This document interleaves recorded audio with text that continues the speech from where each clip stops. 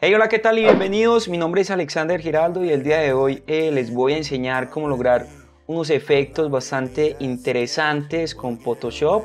Eh, aquí tengo dos imágenes que son con las cuales vamos a trabajar el día de hoy. En este caso, pues eh, tú trabajarías con tu propia fotografía.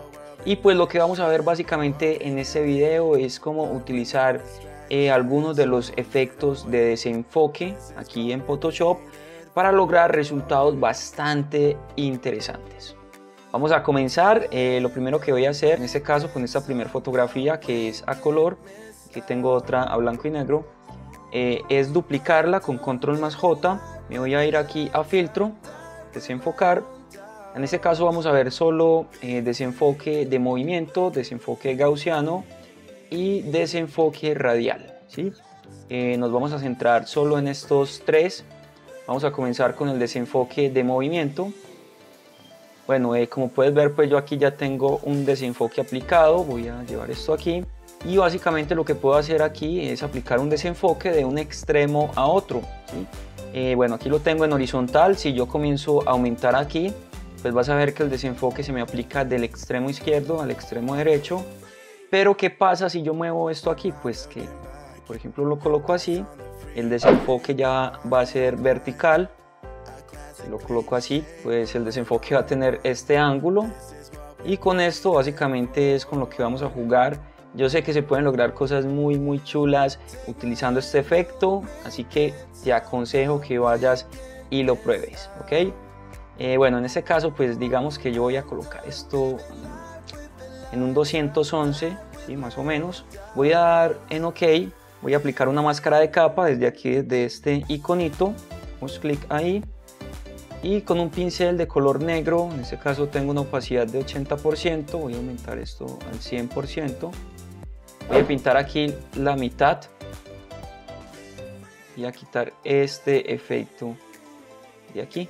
Ahora si vemos el antes y el después, esto básicamente es lo que hemos obtenido.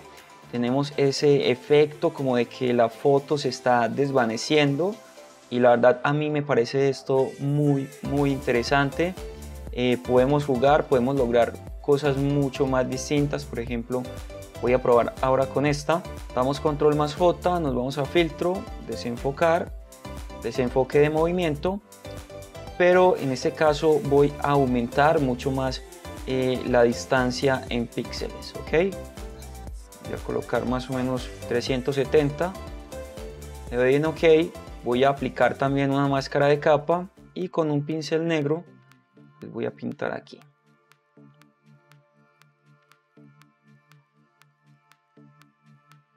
Y ahí lo tenemos. Este es el antes y el después.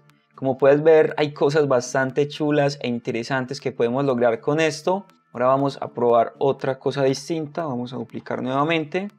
Vamos a filtro, desenfocar, eh, desenfoque gaussiano, seguramente este muchos de ustedes ya lo conocen. Desde aquí vamos a poder ir variando el radio, es decir, eh, la cantidad de desenfoque que queremos obtener. Digamos que por ejemplo algo más o menos como esto. Le damos en OK, aplicamos una máscara de capa, lo mismo que hemos venido haciendo. Y con un color negro, pues en este caso voy a pintar aquí lo que sería el rostro. ¿ok? Bueno, al parecer aquí no hemos logrado mayor cosa, no es para nada interesante, pero eh, te voy a mostrar un ejemplo de lo que podrías lograr eh, utilizando el desenfoque gaussiano. Te lo voy a dejar por aquí en pantalla. Podríamos lograr algo como esto, ese efecto como de vapor, ¿sí? como de que la persona está en un baño lleno de vapor. Ese mismo efecto lo podríamos lograr utilizando el desenfoque gaussiano. Entonces lo que quiero y lo que me interesa que mires eh, de todos estos efectos de desenfoque es que puedes jugar con esto para lograr cosas realmente interesantes, muy creativas en tus fotografías. ¿ok? Voy a duplicar nuevamente esta capa, ahora vamos a utilizar otra cosa distinta, en este caso vamos a utilizar la última opción es el desenfoque radial. Eh, no vamos a tocar todos estos, como te dije, simplemente estos tres, desenfoque de movimiento, gaussiano y desenfoque radial. Si doy clic aquí, pues vas a ver que tengo aquí método y calidad. En calidad te aconsejo que la pongas en buena o puede ser en óptima. Y en método pues eh, tenemos dos opciones. La primera es giro y la segunda es zoom. Vamos a probar con el giro. Aquí ya creo que te estás dando una idea de lo que vamos a aprender a hacer. Por ejemplo, si yo coloco esto un 15, digamos en OK, y tengo ese efecto de desenfoque radial muy muy interesante. Vamos a aplicar una máscara de capa y lo mismo con un color negro pues simplemente vamos a pintar a la persona. Este es el antes y el después. Como puedes ver es un efecto bastante sencillo simple pero que va a venir muy bien para lograr creaciones creativas con tus fotografías. Ahora vamos a probar eh, con esta otra foto vamos a duplicar nuevamente con control J. Vamos a ir a filtro desenfoque desenfoque radial. Y en este caso eh, podríamos aumentar la cantidad es decir que se va a ver muchísimo más eh, desenfocado. Pero voy a mostrarte el zoom voy a aumentar aquí la cantidad en este caso un 65 doy en ok Ahí lo tenemos, aplicamos una máscara de capa y con un pincel negro pues simplemente pintamos a la modelo. Si de pronto quitaste el efecto de una zona en donde querías que estuviera, pues simplemente cambiamos el color a blanco y pintamos. Ahí lo tenemos. Este es el antes y el después. Como puedes ver, pues son efectos bastante simples, bastante sencillos, pero que van a venir muy bien para cualquier idea loca que tengamos, yo sé que te va a servir muchísimo, por eso quise hacer este pequeño video. Ahora ya por último y para finalizar te voy a mostrar otra forma que puedes utilizar eh, también para eh, lograr cosas bastante interesantes en tus fotos sin salirnos del tema de desenfoques. Si te ubicas en la barra de herramientas vas a encontrar esta herramienta que tenemos acá que es la herramienta de desenfoque si yo dejo presionado, pues me van a aparecer otras tres. En este caso tenemos desenfocar, tenemos enfocar y tenemos la herramienta dedo. Vamos a comenzar con la herramienta desenfocar. Y lo que me gusta de esta herramienta es que vas a poder realizar desenfoques en zonas. No vas a tener que hacer un desenfoque general, sino que puedes ir desenfocando eh, las zonas que a ti te interese desenfocar. Digamos, voy a colocar el tamaño es un poquito más pequeño digamos que yo quiero que es la mitad del rostro se vea desenfocada entonces simplemente pues comienzo a pintar ahí lo tenemos el antes y el después voy a acercarme un poco más para que veas mejor tenemos el antes y el después entonces este tutorial puede parecer muy simple muy sencillo pero la verdad es que todas estas herramientas tienen un gran poder y podemos lograr cosas, la verdad, bastante interesantes con ella. ¿Ok? Ahora, eh, bueno, tenemos lo que es la herramienta desenfocar, que pues, ya te mostré básicamente cómo funciona. Eh, desde aquí vas a poder controlar la intensidad, qué tan intenso quieres que sea ese desenfoque. En este caso, pues apliqué una intensidad de un 100%.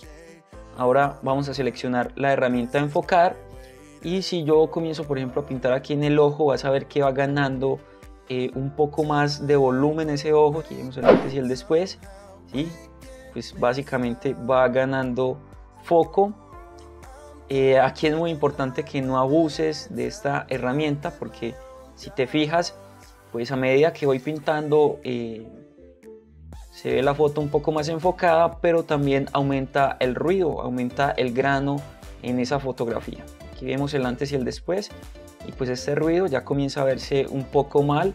Así que aquí es importante no abusar, te aconsejo que utilices una intensidad de un 50%, algo así más o menos, podría funcionarte bastante bien. Ahora voy a eliminar esta capa, voy a duplicar nuevamente esto. Y por último, pues vamos a utilizar lo que es la herramienta dedo, que creo que es la más interesante de todas estas tres. En este caso tengo una intensidad de 26%, ¿sí? Esta intensidad aquí ya es de por sí bastante fuerte, pero voy a aumentarla un poquito más, en este caso a 60, a reducir el tamaño, me gusta más así pequeña. Y si comienzo a pintar, pues vas a ver que esto es lo que voy obteniendo, voy a aumentar un poquito más el tamaño. Y en este caso, si aplicamos un blanco y negro, pues esto puede que se vea mucho mejor que a color, lo tenemos, ¿sí? el desenfoque se ve mucho mejor que a color eh, y la verdad con esto se pueden lograr cosas bastante interesantes. Eh, por ejemplo, si yo quisiera seguir editando esta foto, lo que haría sería irme aquí a ajustes, añadir una capa de ajustes de curvas, pondría un punto aquí, otro punto aquí, otro punto aquí, aumentaría aquí un pelín esto y alzaría esto para lograr ese efecto mate que la verdad se ve bastante chulo, bastante interesante. Luego para terminar lo que haría yo sería presionar las teclas Control Shift Alt y la tecla E para juntar todas estas capas en una capa superior. Por último me iría a filtro, filtro de cámara RAW. Una vez aquí pues lo último que yo haría sería irme a efectos y añadir un ruido en la fotografía, en este caso algo más o menos como esto. Y aquí en tamaño un tamaño de 15 parece que está bastante bien. Voy a reducirle aquí un poquito que no sea tan fuerte.